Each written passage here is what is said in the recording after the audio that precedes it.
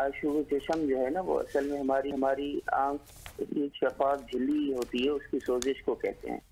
उस झिल्ली को हम जो है वो इंग्लिश में हम्म। अपनी मेडिकल जबान में कंजक्टिवा कहते हम्म। कहते हैं।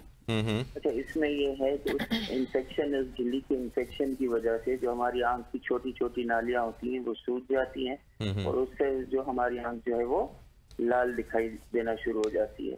अच्छा इन्फेक्शन होता क्यों है? इन्फेक्शन जो है मेन जो है वो तीन कॉजेस की वजह से हो सकता है। हम्म। एक तो उसमें सबसे जो कॉमन जो अभी हमारी कराची में है वो वायरल है। वायरल के साथ बच्चों में जो कॉमन है वो बैक्टीरियल है और तीसरा एलर्जी की वजह से भी ये अशुभ चशम हो सकता है। ये तीन इसके मेन कॉजेज हैं। अब जो यहाँ फैला हुआ है वो है वायरल इन्फेक्शन वो। अब उस वायरल इन्फेक्शन में जो है वो ट्रीटमेंट सच नहीं है लेकिन ये है कि हम उसमें एहतियात कर सकते हैं।